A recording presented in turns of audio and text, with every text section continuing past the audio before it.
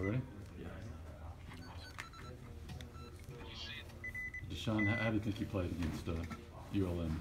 Uh, I think I played pretty good. Um, I think defense played pretty good overall. Offensively played pretty good. Um, it was a, good team win. Coach Malzahn preached all week about just coming out and um, just getting better in all three phases. And Coach still wanted on the defensive individually to either be uh, our, our best game.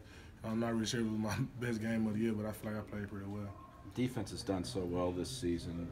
How does things change though when you guys get on the road and have to communicate and everything? Nothing changed. Um, I mean, since since day one, we've we've always uh, been the same team. Everything's really routine. I mean, practice hasn't changed. Where we were playing the Clemson, Alabama, Dallas Cowboys. I mean, Coach Steele and our coaching staff on defense side of the ball, you know, we're very routine, and no matter who we're facing, home or away, you know, nothing's going to change. Sean, just getting a couple of wins, how much does it change things just from a confidence standpoint after you get a couple under your belt like you had? I think um, our confidence is, is really, really high right now. Um, beat a good LSU team um, at home after coming out, um, coming off of a heartbreaking loss to Texas A&M, and um, uh, last week I mean, this week put up a lot of points. The defense had um, ULM team to seven points. Could have been a shutout. So I mean, going going to um, to the road stretch of the schedule, I feel like it, it, was really important to get those two big wins. You know, heading to a, a tough Mississippi State environment.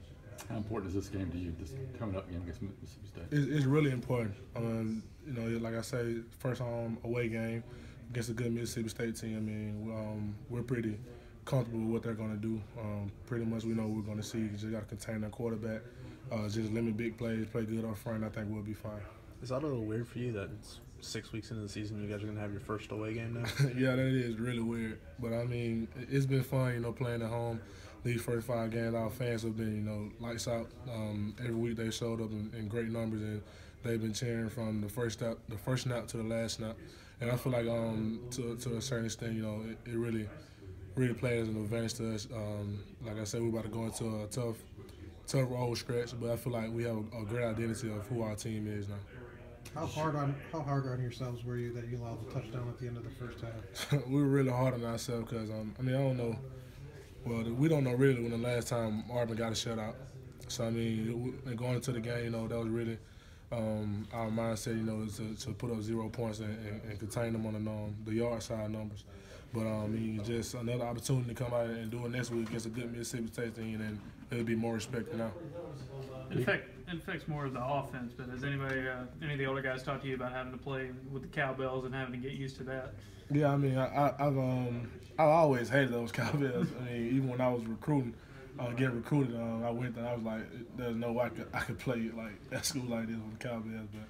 I mean, it's, it's a good program nonetheless, but I mean, uh, we're not on the defense side of ball. We're not going to really hear, but I mean, when the offense is out there, I know it's going to be really nerve wracking. For you guys as defense, is it? I mean, obviously you're playing on the road, but is it almost easier a little bit to play on the road because it's quieter, your communication a little bit easier to do than it is at home? Yeah, um, especially um, in the core, because I mean, a lot of times, like I say, these first five games, our fans have been, you know, unbelievably loud, and, and we we've really needed it.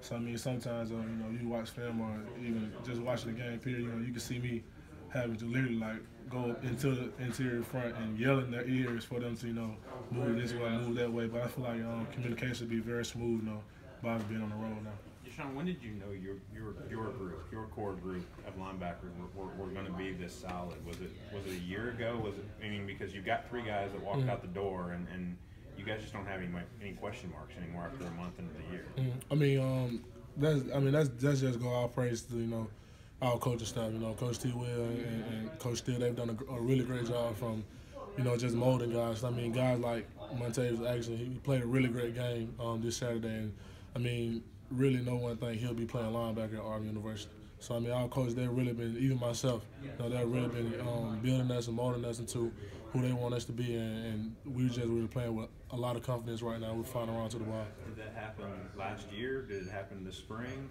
You know, um, did, how, when did you guys start feeling good about the way you guys were, were kind of progressing? Really, um, individually, I felt I felt good last bowl practice when um, Coach Travis took over.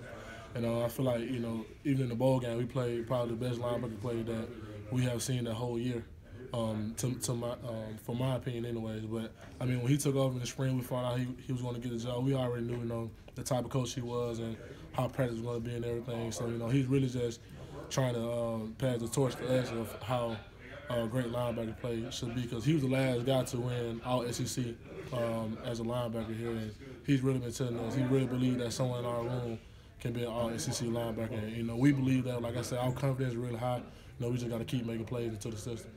You talked about Montavia. You talked about Montavia. So why is he being able to make that transition so, so well and you know out there producing with you guys? like I just said, it's just coaching, and um, our scheme is um, is, is really simple. You know, we, we don't really do too much thing. Really, what we want to do is just get everyone on the same page, just communicate well, just fly around and play hard and play fast. But you know, he has, he has unbelievable speed. He's a, a great competitor, and um, you know, he, he's really just bought into the system. He's really playing with a lot of confidence right now. Deshaun, big picture, what does it mean to you this year to be such a big part of the defense, be playing so much? Um, me individually, you know, it, it, it means a lot to me because um, prior to this year, I haven't really played football since my 11th grade year of high school. So I mean, just to be on the field for the first snap against Clemson, you know, I was, I was really proud and, overwhelmed. You know, um, it, it still, you know, it seems kind of unreal to me. Just you know, just look up in the stand and see all those people, you know, cheering for the Auburn defense and just to know I'm on the field. So I mean, I, I'm enjoying every second of it. Did you ever get down and think about transferring those last two years before this year? I mean, um, I, I've had my doubts um, of just you know, just by, by me being a competitor and me not, you know, um, my career not starting out the way that I wanted to start out. But I mean, I've always been the type of guy, you know, I always had to, had to overwork for everything. So I mean, like I say, Coach T. He always stayed in my corner. He always believed in me. So even when things weren't, you know, going the way that I felt things were, uh, were supposed to go, you know, he kept me on, on the right side of the line, and, and he wasn't gonna let me leave. I tried to leave anyway, but I mean, I never went to any coaches or anything, but just compared to me, it, uh, compared to Emmy, wanted to be on the field, and, and now I'm just there.